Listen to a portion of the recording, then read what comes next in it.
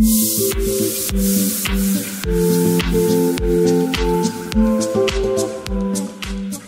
everybody and welcome back to my channel. My name is Kae and in this video we're going to be doing a demonstration on the Yi Gong excavator and the Yi Gong dump truck that we did an unboxing on in the last video.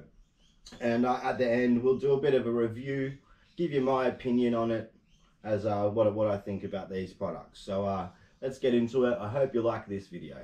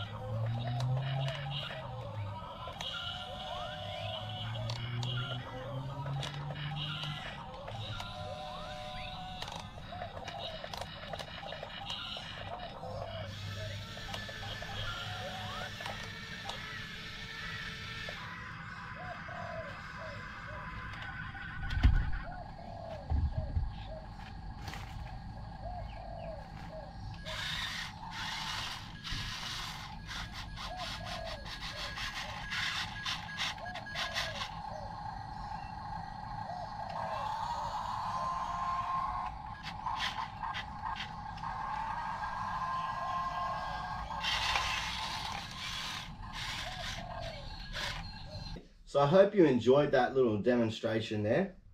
So uh, my opinion, let's go with my opinion on the re my review on these guys. So the excavator. Uh, first of all, I love the 11 functions that it has.